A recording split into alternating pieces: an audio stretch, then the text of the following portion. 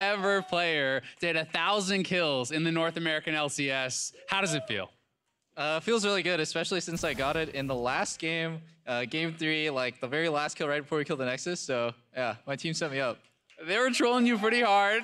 You know, they, it seemed like uh, they were, they didn't want to give it to you. You know, what were comms like? Were they, it was intentional? Were they trying to give it over?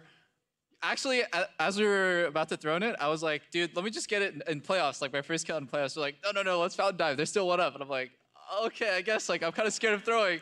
and I think it was lucky that I got the kill too. So I'm gonna shout out to Hauntzer. He stole my kill when I was like, gimme, gimme, gimme. He just took it from me.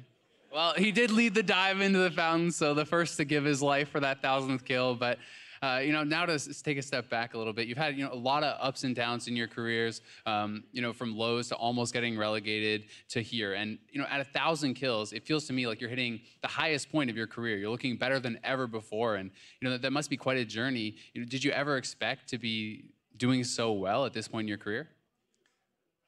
Definitely not. Like when I first started, I was done as like a really dumb player, and I, was, I had like I was like okay mechanically, but I wasn't really that great.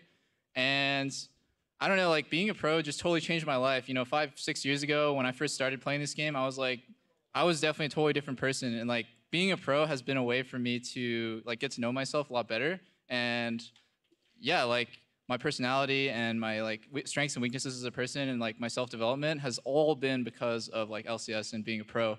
So uh, it's kind of like because of that that I'm so dedicated to like maintaining a high level of play throughout my whole career. And that's like my biggest pride too. When I wake up in the morning, I'm like, dude, I'm still, I'm so sick. Like, I'm still pretty sick, you know.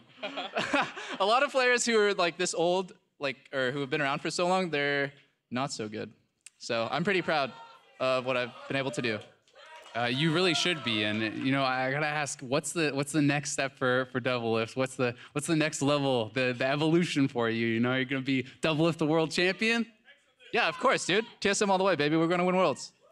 There you have it. You heard it here first. TSM will win Worlds. And I'm sure Teemo is going to make a return in the finals against SKT. But that's it for us. We're going to head over to the desk. Thank you very much, Azael, and congratulations to Doublelift.